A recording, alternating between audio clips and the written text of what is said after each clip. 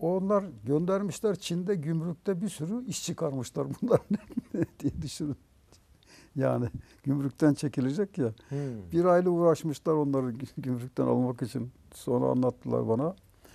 Neticede kitap çıktı. Çok lüks bir kitap. İki sayfa ayırmışlar bize. İngilizce ve Çince yazılı. Bir de çektiğimiz fotoğraflardan sayfalara fotoğraflar koymuşlar. Böyle bir çalışmamız oldu Çin'de. Daha sonra Çin Fotoğraf Dernekleri Federasyonu iki defa davet etti beni.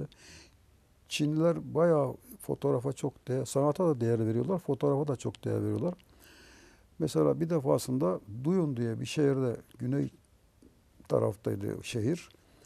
Ee, fotoğraf haftası düzenlediler. Şehrin her tarafı fotoğraf dolmuştu. Sokaklar bile, sokaklar dahi. Çok büyük bir salonda ayrıca sergiler vardı. Ee, böyle bir çalışmamız oldu. Daha sonra tekrar bir daha bir festivale çağırdılar. Orada da daha önce fotoğraf istediler benden. Bir fotoğraf gönderdik. Ayrıca da bir sergi götürdüm. O sırada şeye gitmemiştim hiç. Doğu Türkistan'a.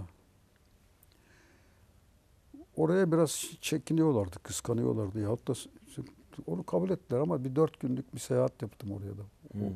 zaman e, işte Kaşgar, Urumçi ve Turfan. Mesela bir turfan kelimesi Turfan. vardır. Biz bilirsiniz. Şimdi gençler Turfan. bilmiyor. Turfanda, Turfanda. sebze meyve. Turfandayı hani, biliriz turfan. ama- İşte turfan oradan geliyor. Turfanda çık. Turfanda. İlk orada Yani çıkarmış. ilk çıkan İklim şimdi çok uygun. Turfan Çin'de Uygurların Türkler Uygur Türklerinin yaşadığı bir bölge. Turfan şehri.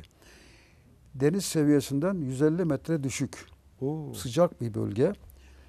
E, üzümün, karpuzun falan danışkası orada yetişiyor. Yani. O kelime Türkiye'ye oradan gelir. Turfan'da. Yani ilk Hmm. çık ilk orada çıkıyor çünkü.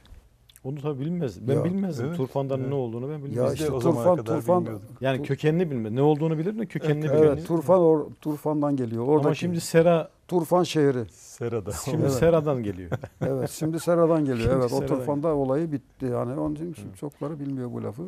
Evet, ben orada yakaladım onu Turfan şehri görünce. Çok güzel üzümleri falan var. Evet. E, Böyle bir şeyimiz oldu. E, Çin'le ilişkimiz. E, Tabii çok gezdim ondan sonra. Aşağı yukarı 40'ı aşkın ülke gördüm. 20'ye yakın ülkede sergi açtım, sergi götürdüm. E, bu sergilerin bir kısmını e, Türk Tanıtma Vakfı'yla bir kısmını da e, e, Dışişleri Kültür Müdürlüğü tarafından.